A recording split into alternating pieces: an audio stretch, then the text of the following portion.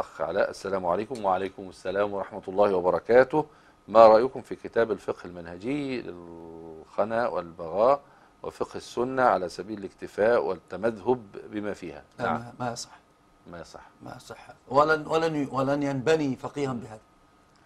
لا هو هو لعله يريد يعني مبادئ كفاية. الكفايات. ف- وبعدين أصلا أنا أقول لك أن تتعلم تعلم بالتلقين. المساله مس- ليست مسألة ال- الصحف تفيدك علميا. لابد تتعلم على يد شيخ. لابد. يعني ت- تلقي طبعا العلم لا يكون إلا كذلك يعني لو قرأ وحده قد يضل يفسد أكثر مما يصلح ويضل. طبعا هو المش- المشكلة كبيرة جدا في من كان شيخه وكتابه. خطأه كثير جدا يكون أكثر من صوابه لابد أن أن يتعلم ويرحل ويسمع الآن يرحل خلاص منتهية ليش؟ لأنه موجود الآن الشبكة. هذه شبكة النت ال...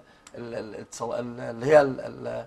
الم- الموسعة يستطيع أن يسمع آه، العلماء وقد يجد الراسخين من أهل العلم أو من طلبة العلم يسمع عليهم وهو لن يتقن العلم إلا بذلك.